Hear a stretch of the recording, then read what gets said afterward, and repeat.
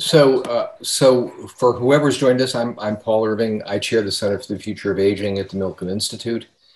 Uh, I serve as a scholar at the University of Southern California School of Gerontology, and I chair an organization very focused on uh, the potential of older adults to serve and interact with, with younger people called encore.org. Uh, let me just very quickly go through just, just a couple of slides for some framing on, on the work that we do at the, at the Center for the Future of Aging, and then my objective in, in this session uh, for for anybody who's joined is to really engage in conversation and to figure out what you're interested in, uh, want to talk about, and um, and want to want to propose. So uh, so our center uh, is is based in um, in Santa Monica, uh, California, but we also have offices in Washington D.C. Uh, and in Singapore which is which is really one of the most interesting places in the world for people interested in in in aging. This gives you just a sense of our our mission. Um, and I, I, I won't read, read through it, but it, it gives you a sense. We're focused on healthy and productive and, and purposeful aging, the recognition that uh, changing age demography will really change everything in the in the years to come. And of course, all of you, just by way of context, are, I'm sure, very well aware of the of the shifting demography. Here's what the world looks like or looked like in in 2020. The portion of the population 65 plus.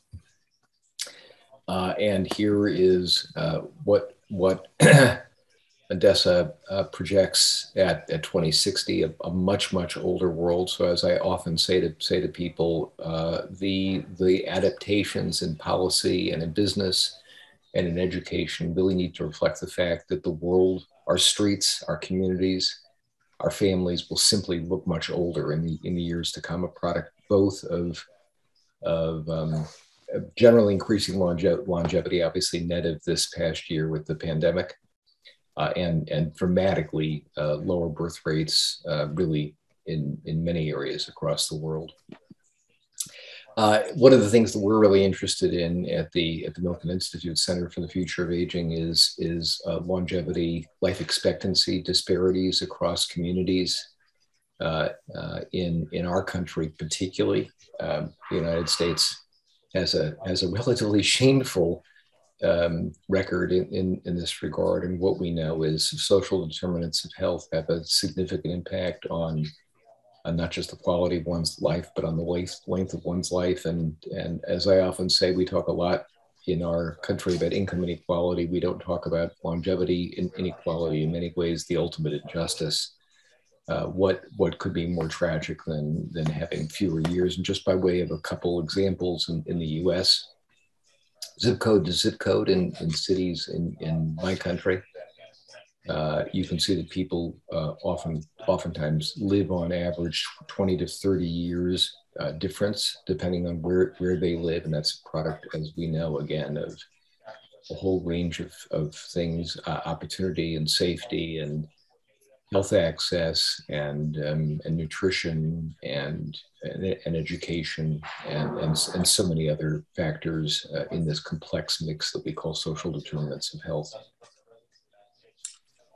Um, uh, one of the things that we're really interested in, obviously, is is the is the um, reduction in, in, chronic disease and the management of, of chronic disease, and we know that uh, that of course um, the the COVID pandemic led to a recognition that chronic disease uh, not only is is is uh, uh, a, a significant risk and something that uh, that must be must be addressed for its own reasons, but it also increases the risks of hospitalization and death from from viral disease. Uh, and and this just gives you a sense of some some U.S. data. Uh, the the one that I think is probably particularly interesting, which is again reflective of a challenge that uh, exists across the world, is the costs of of um, dementia, particularly uh, Alzheimer's and, and other dementias and oftentimes, I don't know if we have any health economists with us, but oftentimes uh, we we focus on, as as we should, um, uh, the specific care cost Um, and, and that's certainly significant in the United States, something, something in excess of a quarter trillion dollars uh, last year. But when we fully load the impacts of dementia on on um, on our economy, what we recognize is the loss of productivity of both disease sufferers and caregivers probably drives that num- number even currently closer to to about a trillion bucks. So as we talk about the costs of disease, we not only have to think about this in medical terms, we must think about it in economic terms to make the case for increasing investment and urgency in, in tackling uh, these, these challenges just to again to give you to give you a sense of, of kind of the, the risks uh, of smoking, obesity, and the sedentary lifestyle, all things that we we know we need to address, not just in, in the U.S. but certainly around the world, and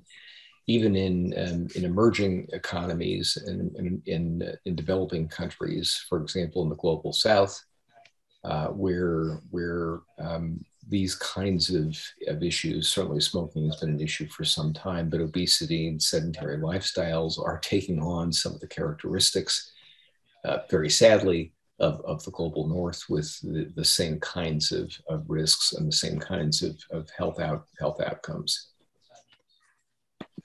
So um, uh, we're very, very interested in, in issues and innovations to address social, social isolation and loneliness. We can talk about this, how it relates to longevity economy and, and the potential for innovation in, in a minute, but you can just see some of the US data.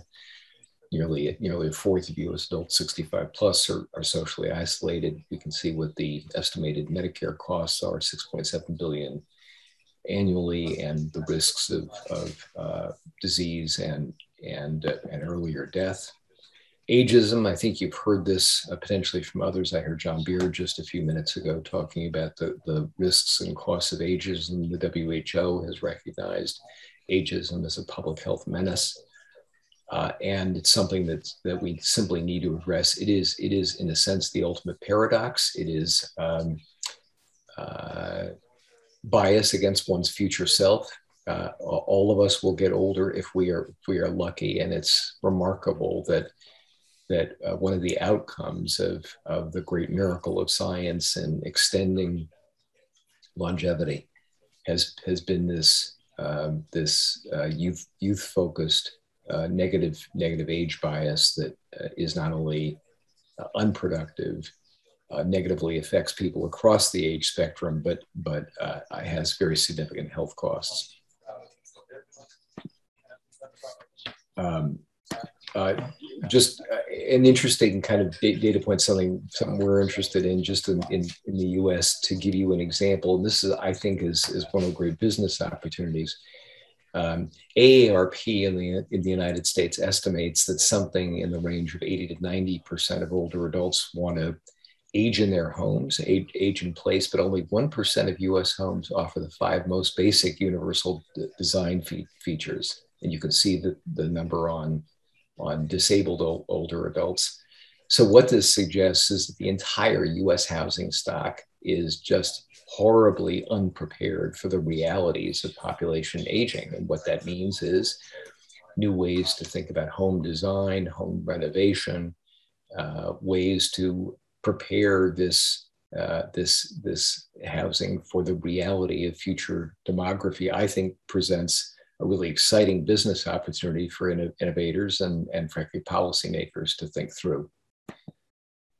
Um, we're excited about the, the potential for, for purpose to uh, increase healthy longevity. And this is some data from, uh, from Becca Levy at Yale. You probably have seen this, this data point if you're interested in the world of aging, but uh, Becca's research found, uh, she controlled in, in, the way she controls, that people with positive self perceptions of aging live on average 7.5 years longer. That's uh, as or more a significant uh, variable than body mass index, smoking, or, or exercise.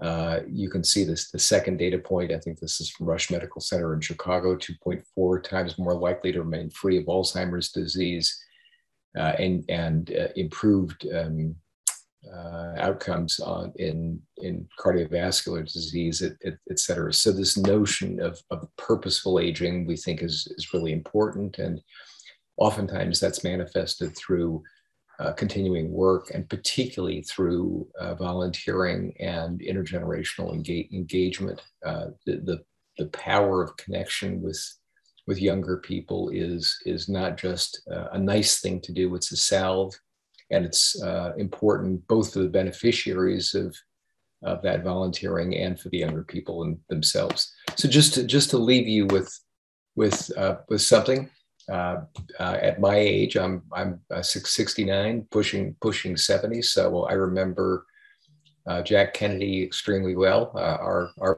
president at, at, a happier and more positive time, I think, in the United States in many ways, a more forward-looking time. But even then, when our population was much younger, Kennedy said it is not enough for a great nation merely to have new merely to add new years to life our objective must be to add new life to those years. I think that's the challenge and, and responsibility for all of us. This is just an example of some reports that we do. You can go to our website and read any of them, uh, work on, on dementia, on the economy, and on, and on purpose. And with that, I will uh, try to stop uh, sharing and, and, and much more important, hear from all of you if I can figure out a way now to get out of this. So let's see, how do I pause share? I'm not doing a very good job, am I? Just, there we go. Okay, good. Um, so I see everybody's got got uh, cameras cameras off. Who's going to be brave enough to turn their camera on and engage in, in conversation? By the way, uh, in my prior life, I actually taught law school, so I got very used to, to cold calling. Um, and I'd, I'd, be happy to engage in that now. There we go. Okay, now I see some faces. Welcome. How are all of you? Hi, Emma. Uh, good to see you. So I see Will, I see Kim, I see Lillian, I see a picture of, of, of, of Peter. So, uh, so, and I see here at Nancy, Nancy, here's, here's Peter live and uh, Rita and Martin, I guess, are, are still off screen, and, and Julietta, but, uh, but welcome to all of you. Um, so um, tell me a little bit yourself. Who, who, who, wants to start? Let me let me just start kind of at the top of the screen. Will, where, where, uh, are, you, where are you from and what do you do? Okay, uh, I'm the associate professor at uh, Singapore Management University, ah. and uh, yes, also uh, deputy director of. Uh, we have a research on successful aging here. Um, and I was very interested in, um, you know, um, what you were saying about intergenerational, um, you know, interactions and and the, the benefits of that. Um, and I was just wondering if you could speak on in, any programs or any approaches that, that you're aware of um, that try to forge, you know, this kind of uh, interaction between, you know, like older and younger generations. Uh, yeah.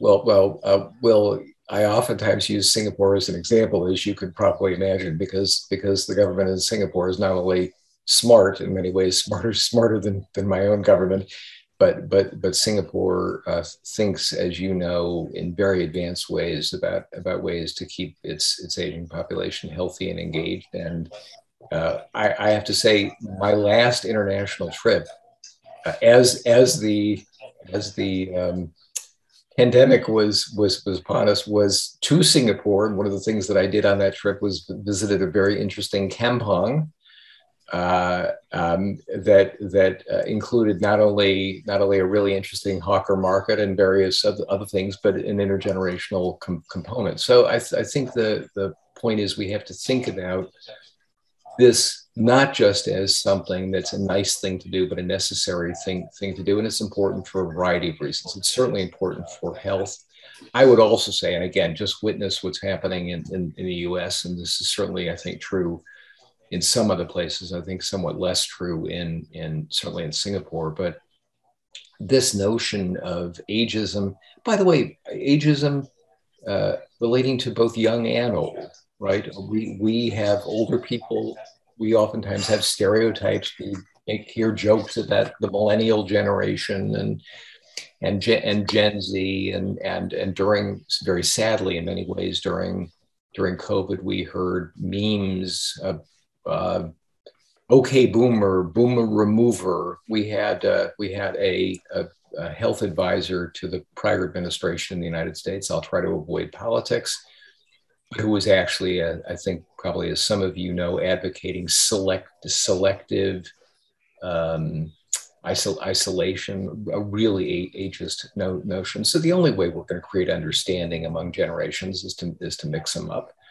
Uh, the, the living model in the United States has tended to be age segregation. I actually just wrote a piece that was published yesterday. I haven't gotten death threats yet, but I expect I will, uh, on comparing the aspirations that I have at my age versus those who have moved to the fastest growing metro in the United States in 2020, which was uh, uh, a development called The Villages in, in Florida. Uh, really quite remarkable. It is this kind of playground for older adults, uh, age, age isolated, uh, fundamentally racially uh, uniform. It's, it's, it's old, it's white, it's conservative. Uh, and uh, and there is not intergenerational intergenerational connection. I've been an advocate for uh, for the kinds of developments, the kinds of, of innovations that connect older older people in living environments, very much in learning environments. I mean, Will, I know it at not just NTU, but at NUS and other places in Singapore, there are conversations about how to integrate older, older younger students uh, so I think this it's incumbent on all of us. I mean, if we want to have if we want to have intergenerational understanding, if we want to function well together, if we want young people to recognize not just the challenges but the opportunities of of of um, this this shifting age demography, then we have to live together and work together and operate. You probably also know, and then I'll then I'll stop. That there is there's an emerging body of evidence. Uh, my my colleague and friend Laura Carstensen, who runs the Stanford Longevity Center, has, has written about it substantially that, that suggests that intergenerational teams, this is in, in business environments, outperform same age teams of any age. So uh, when I'm uh, up, up in the Silicon Valley talking to leaders and, and, uh, and we talk about kind of the most effective, the most competitive way to run their, run their businesses, I say, you know, rather than putting two, you know, uh, very smart young Stanford PhDs on a project, or two aging folks with with experience and judgment like like me on the on on the project. Uh, take one of each, and you get the risk-taking characteristics, creativity, innovative thinking of youth, and you get the experience and understanding how to navigate environments and understanding the world of corporate politics and all the rest, the wisdom and judgment that only comes with with age and experience and and the, the combination is powerful and i think that's something that all of us have to advocate in all of our institutions so thanks thanks for the question Bill. and and and again i miss being in, in, in singapore it's quite a place well, thank, yeah, thanks for your response. And uh, I thought it was very interesting what you were saying about ageism being a two-way uh, issue, and that does seem to be an important target uh, if we want to, you know, improve intergenerational connection. So thank you, thank you for your response. Absolutely who else? I, I, I, can just call Kim. You're your next time I see anyway. So let me yeah. let me go to you, Kim. Um, my name is Kim Ashizawa. I'm with the Japan Center for International Exchange based in New York. Um, and actually, I've worked, Paul, with some of your colleagues. Uh, Rajiv spoke at our uh, webinar earlier this year on um, dementia friendly community building in Asia. So I'm overseeing the uh, program on healthy aging in Asia that we have. That's great. Um, and actually, Will, I wanted to mention we have a website that we run, which is the ahwin.org. It's A H W I N.org, which is under the auspices of the Japanese government's um, Asian Health and Wellness Initiative. And one of the features on that is innovative cases in community building, um, technology, and um, self reliance, basically aging in place. And there are a number of initiatives there that you can look at, which are um, programs at the community level by NGOs, including HelpAge in Vietnam and IRL in Indonesia um, that are promoting intergenerational um, work in their communities. So that might be a good resource to take a look at. Yeah, great. Thank you. Thank you for that recommendation.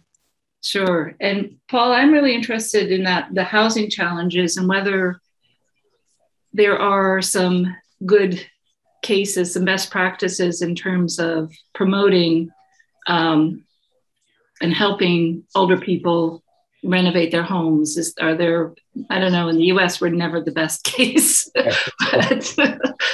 Sadly.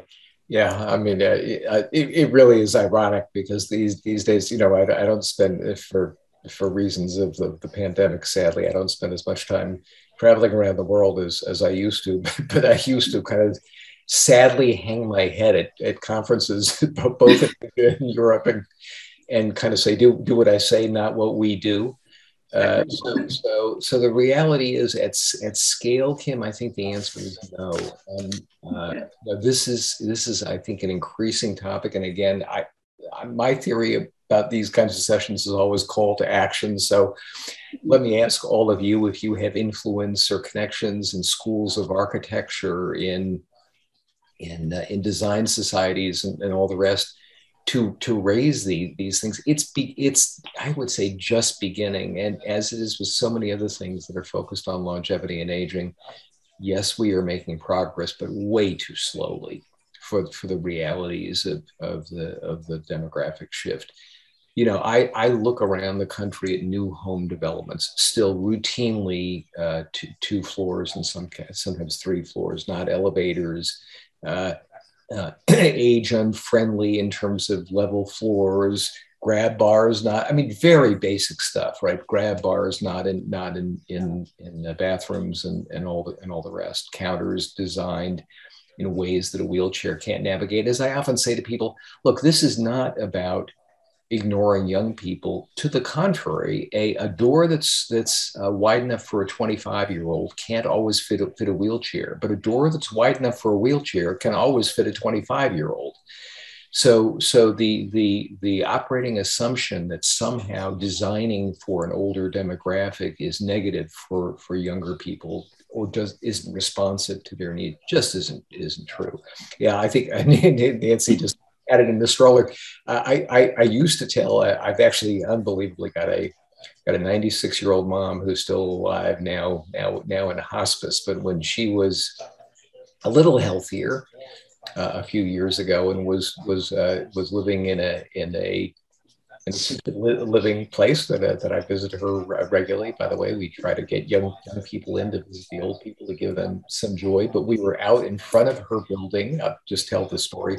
And she was uh, walking very slowly. I'm kind of holding my arms up so you can imagine it with, with an old bent aluminum walker. All, all of you can envision an old aluminum bent walker and and uh, as we were walking very slowly you know down the street from from her building this incredibly attractive young couple walked by us you know dressed dressed to, to the nines with a baby carriage and as i've described it to people the baby carriage i won't use the word as a word I, it looked like a Ferrari. It was the most gorgeous thing I had ever seen. And, you know, it, it was titanium. It had swooping lines it was the most beautiful thing I ever thought. And my my and of course, you know, look, I teach in a school of gerontology. I run a I run a, an age an aging center, so you can imagine my my reflex, my my reaction was, what idiot? I mean, I, this is unfair, but I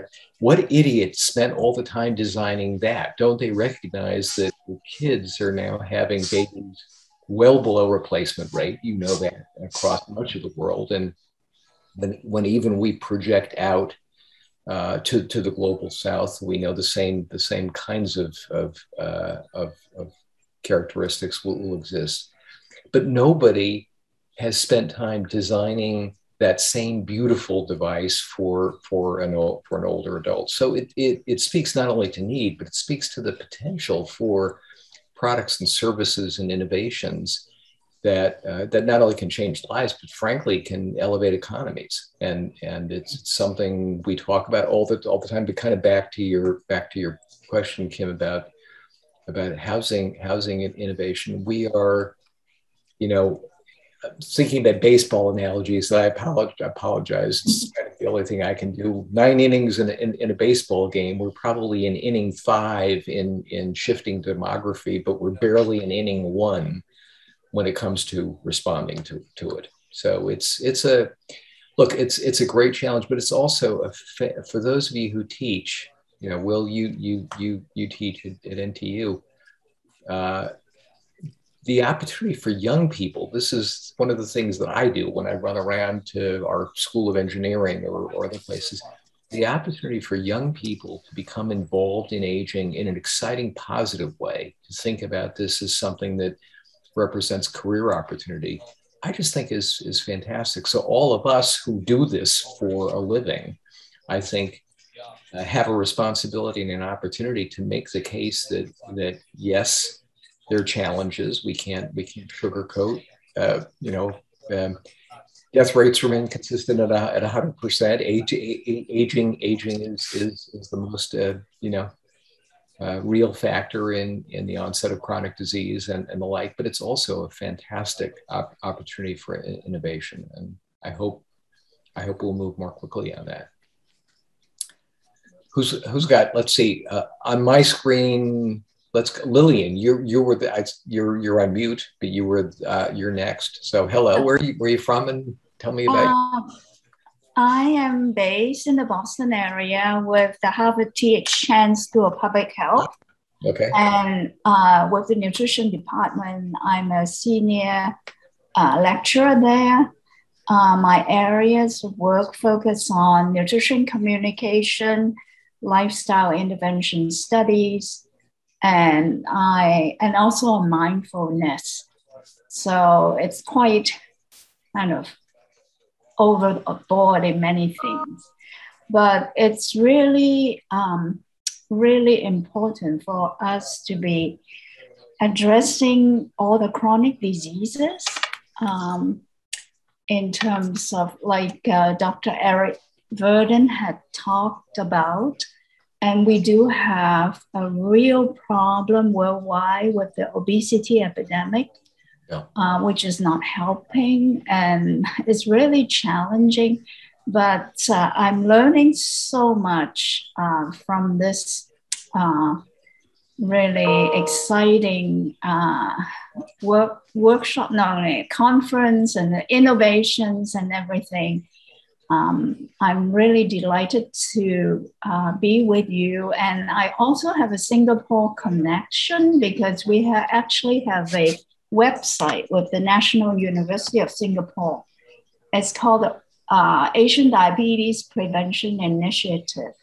So we have three websites the Nutrition Source, the Asian Diabetes Prevention Initiative, and the uh, Obesity uh, prevention source. So we we have um, we've been trying to do that, and I'm now uh, looking at also the both the effects of mindfulness practice, how it could be positively affecting the elderly.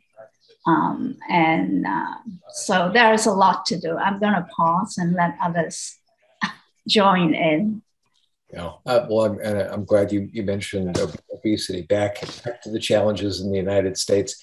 I often say that the two, the two worst exports from um, from America are, are, are attitudes about older older people, particularly to Asia, and Kentucky Fried Chicken. Those are those are the two things that we sent that are, that are the worst. And as you know, and as our as as you would know as well, Will, uh, one of the real challenges that we see across the world was increasing prosperity in some respects, but also disparity in, in, in other respects is this, is this increasing prevalence of, of obesity, uh, type 2 diabetes, and all the other chronic conditions that, that flow from it. And of course, we know the relationship, or at least the, the apparent relationship between, between obesity and, and, uh, and COVID risk. So, um, yes you know, uh, and, and Lillian, the only case, I, I have a number of friends at, at, at the Chan, at the Chan school, um, including, including several health economists. And one of the, one of the pitches I make to my friends involved in things like nu- nutrition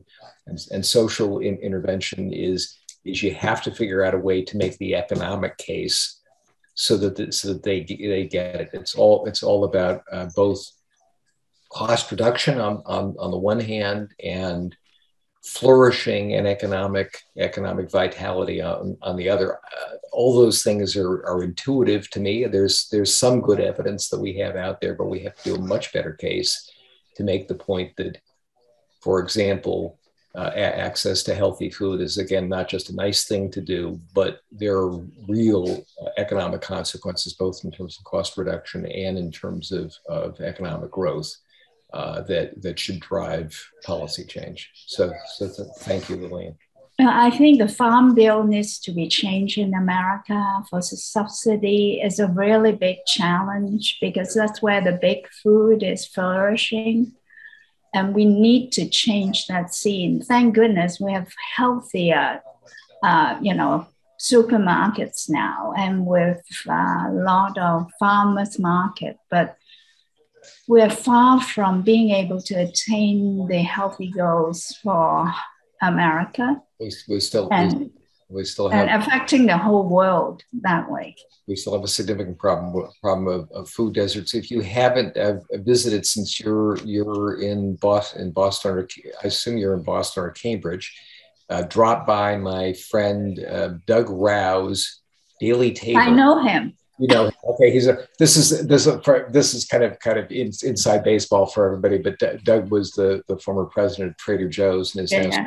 this this thing focused on on on healthy food alternatives in places where where moms are otherwise forced to shop at liquor so, stores and quick serve restaurants and and those kinds of places for, for their kids. So so if you drop by, D- Doug's an old pal of mine. Uh, it's it's a wonderful. He's wonderful. Yeah, say say hello to him. Uh, Nancy, you're I, I you you are next up on my screen. Peter, I'm coming to you. I saw you I saw your hand up, but Hi. Nancy, you're up. Hi, Paul. Um, thank you for uh, for this this uh, opportunity today. Uh, my, I'm Nancy Wexler. I am a program officer with the John A. Hartford Foundation, um, where we have close relationships with, with your organization and many others, and we are helping to support this healthy longevity um, competition. The, the specifically, um, it's been a pleasure to work with the the National Academy team, and um, I I just find it there's just there's so I love that we have this international presence and that we're learning and and and have so much to to share. I think about um, what we do, which is to improve the care for older adults. Um, very much focused on care and evidence-based care, but so much of that has to do with where people live, how people interact. And one of my favorite awardees from the U.S. Catalyst winners was um, was an intergenerational program um, to think about providing some support post high school and even post college to young people to, to serve as caregivers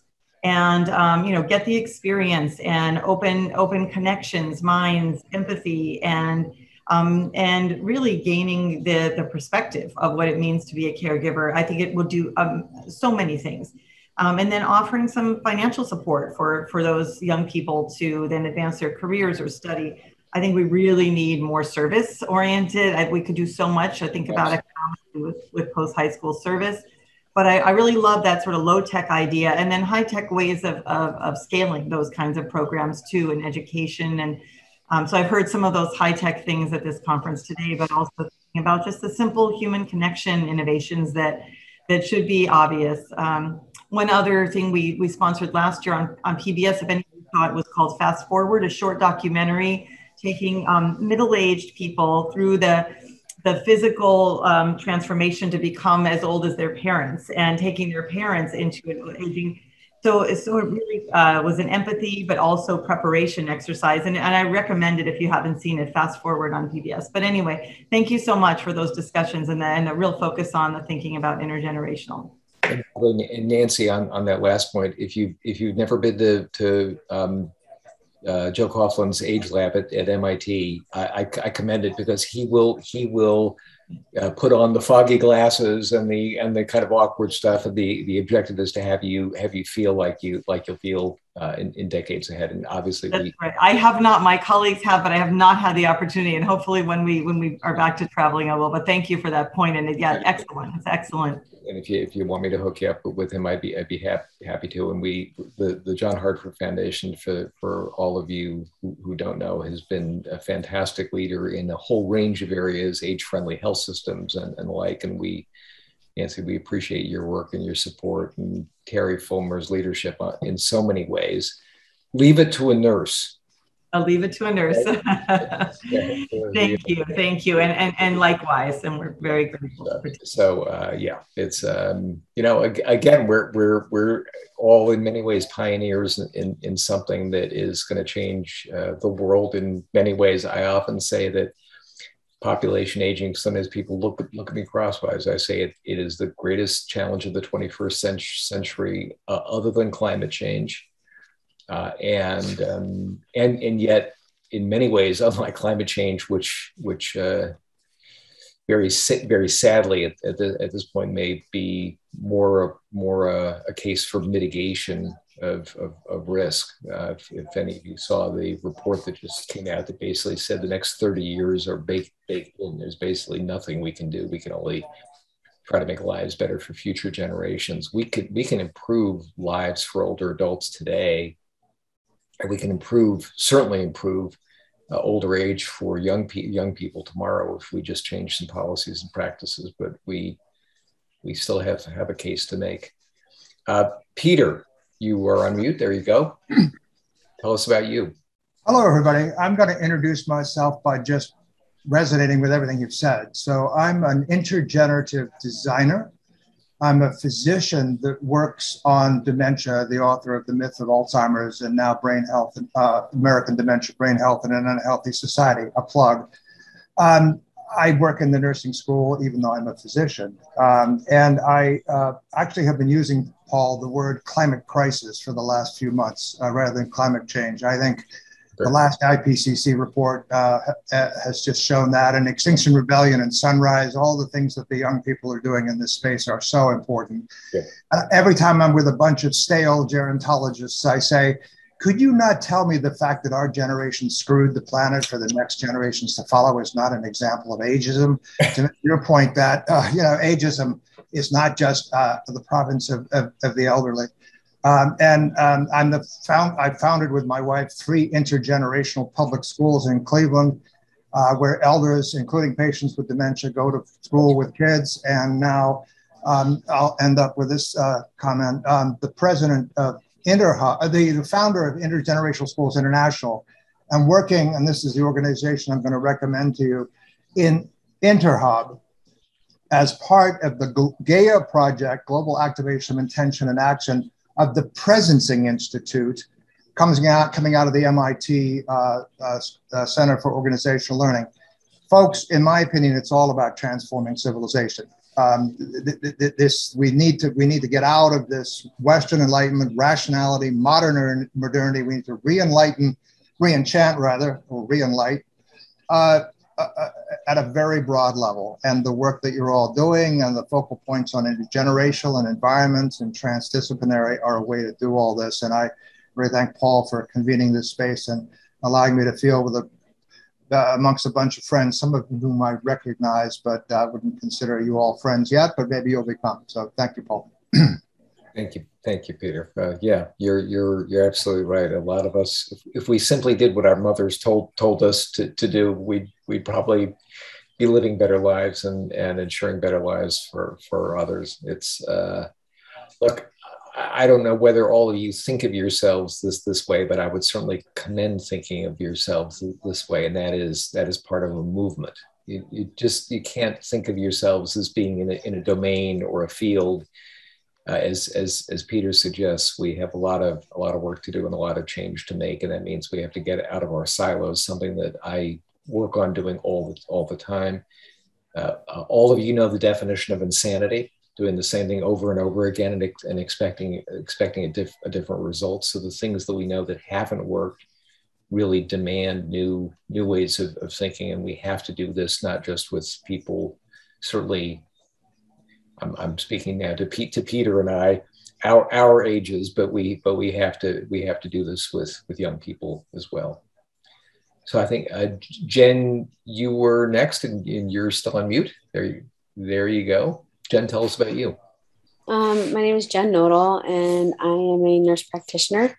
Um, I have a history in gerontology and hospice care. Um, I am, my program is about help empowering people to advocate for themselves um, because advocating for themselves primarily in healthcare, but there's been a lot shown that if they learn to advocate for themselves in healthcare, then that carries over to the rest of their lives. And so the goal, of course, being that they feel empowered and um, therefore they speak up for themselves and feel less you know they they age slower because of that um, people who feel that they have control over their lives tend not to um, feel like they're kind of being pushed along. I see a lot of people who's um, when i was working they'd be saying to me you know look before their p- kids would get there they'd be telling me this is what i want to do but you know my daughter wants me to go on this medication or go on that medication or you know there'd be different goals that they would want to do or you know they'd be going into assisted living and they really want to live at their home and they'd be capable of living at home um, sorry my video skips. Can people hear me when my video skips? we, we, we can hear you. Okay. Yeah. So that was a big that's the big um, purpose behind what I do. Um, there's been other projects that I've talked to a lot of people about, which is this intergenerational um, idea behind it. A lot of it, um, and I know we're running out of time, but the crux of these kind of projects that are kind of this bigger picture for me are these um, communities that I've talked to people about that are like these over 55 communities. And I've talked to them about the idea of that, you know, isolating themselves to just these over 55 is missing a big piece that if they would really work with um, these younger groups that maybe that would actually help them rather than just isolating themselves to um, these communities where they are focused on aging basically and you know so um, one of the ideas that i'd had was having these people who are starting to age possibly starting to have some cognitive impairments and potentially bringing in really a lot of the foster children who um, are having their own problems you know they're they're having their own challenges and creating housing where these are communities where there's both.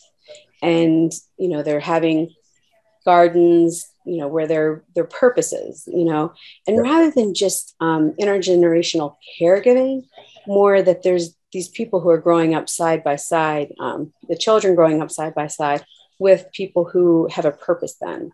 Um, so it's a little bit different in the sense that they're looking up to these elders rather than just caregiving for these elders, yeah. um, which is a thing that I think is very, um, it's different because I think one of the things that we're losing is this respect for this older generation. I think that's one of the big challenges that we're that we're losing in these younger generations more and more. So that's kind of so. Uh, uh, Jen, if, if you're not aware of the work of uh, again encore.org that, that I share that I share the board of, I would really strongly encourage you to go on the on the website and, and, and take a look. So we talk a lot about co- co-generation, very very much to your point about about one generation not caring for the other or not serving the other, but about older and younger people working together. By the way, if you're interested, literally yesterday, I, I referenced this piece. I, I, I, don't have it to don't have the link to share, but if you look up Paul Irving, Next Avenue, the villages, you'll see you'll see the article that uh, that I published yesterday, which Jen is completely apropos your your point. And I talk about, for example, communities like Bridge Meadows in, in, in Oregon that you, that you may know about. So there, there are now, and by the way, Peter, there's a wonderful, and you'll know the name of it, and I don't recall the name of it. I wish I did. A wonderful program in Cleveland. Uh, it's at a music school. Do you know the one I'm talking about, where where old and young live live together and they serve each other and they perform together, and it's yeah, I do, Paul. Um, it's a Judson Smart Living, a uh, retirement community, and its affiliation with the Cleveland Museum of uh, yeah. Institute of Music. And by the way, they're they're both partners with our three intergenerational schools. So we're we're being intergenerative in Cleveland. It's fantastic. Yeah, it's it's a fantastic program. And there's they're they're wonderful, by the way, videos about about Judson Manor. So so I would I would commend everyone to take to take a look at it. So you look, you're absolutely right. This is not just uh, again, as my friend uh, Trent Stamp, who, who runs the Eisner Foundation, says, not just nice but but necessary these are these are things that are good for for all all generations and they're good for the broader society and we need to there are reasons why we have ended up in age segregation some of them well intended k-12 education which didn't exist you know a couple hundred years ago right? Uh, Peter, Peter's made made the point about kind of reverting to to the natural state of things, and and the point is, is that some of the things, even well-intended things that, that have driven us apart need to need to be dressed up to pull us together. And particularly, I think in light of some of the divisions that we experience now, uh, that that thankfully don't exist in as dramatic a fashion in, in Asia, but certainly certainly in the U.S and uh, and sadly in in many parts of, of the EU as, as well. So so Jen, thank thank you for the, for that comment. I know we're coming to the end. Uh, Jenny, how are we doing on on time? We are at the end of time. Oh. Um, but if you want a couple minutes to wrap up, we don't have a hard stop for this this session. Okay. Well, I mean, uh, look, my, my my pitch to all of you I've got to make a pitch, right? So, so, so my since I'm not selling anything, my my my pitch to all all of you is is uh, think of yourselves as being being part of a movement. Lillian, when you're when you're talking to your friends at at, at the Chan School again, I've got many many friends. Tell them that they've got to get out of the building, right? We we need uh, we need ac- academics. Uh, not just not just authoring peer peer reviewed papers. We need them speaking in retail environments, and we need to think about about um, translating. You know, we think about translational science as moving from lab lab to bedside. I often t- think about translating know-how from uh, ivy covered walls to to places where policymakers, media leaders, uh, community leaders, et cetera, actually live live and operate. So that's it's very much my my focus. You know, I operate in two worlds. I operate in an academic world and in a in a real world, and often, oftentimes those two those two worlds don't don't in it don't interact. Um, look, I appreciate all of you all of you being with us. This this is a this is an incredible time. We we are, as you all know, in, in the decade of healthy aging. Uh, the the UN and WHO initi- initiative uh, the National Academy of Medicine. Jenny, as, as you know, I think I, I serve on the National Academy of Medicine um, uh, Commission on, on Healthy Longevity, and we hope to have our report out at least within within the next several months. We, we got delayed a bit by, by, by COVID, but we're optimistic that we're, we're making progress. Uh, and um, and, it's just it's a very interesting time in in this space. So all of us uh, i think it's incumbent on all of us to to uh, promote uh, and and create and encourage innovation. And and i appreciate all of you being here. And, and rita and julietta even though we didn't see your your faces we see, we see your your names in boxes. And so hopefully you're you're hearing too and and you've gotten something from this session as well. So everybody, thanks. Thanks so much. Thank you. I appreciate it. Thank you. Thanks, Jenny. Thank you.